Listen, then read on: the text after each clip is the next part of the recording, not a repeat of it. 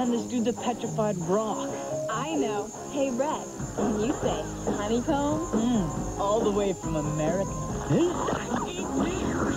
Can't you just see those big bites oozing with honey sweet crunch?